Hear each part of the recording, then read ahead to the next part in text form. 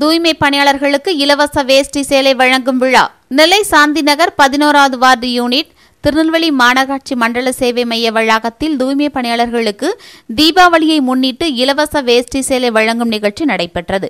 பாலை பகுதி திமுக முன்னாள் இளைஞரணி துணை செயலாளர் கேஏஏ கந்தசாமி எண்பதுக்கும் மேற்பட்ட தூய்மை பணியாளர்களுக்கு இலவச வேஷ்டி சேலைகளை வழங்கி தீபாவளி வாழ்த்துக்களை தெரிவித்துள்ளார். இந்நிகழ்ச்சியில் பிஷப் சார்ஜன் தாளாளர் doctor Alexander Somu Lingapandi John Paul Arun Maharajan Kumar Siva Sundar என்ற சுபாஷ் சிவசுந்தர் அனுஷ் பாண்டியன் வீரசுந்தர் கதிர் சரண்சித் அருணி சுஜித்ரா லட்சுமி மாநகராட்சி ஆய்வாளர் மற்றும் மேஸ்திரிகள் உள்பட பலரும் கலந்து கொண்டனர்.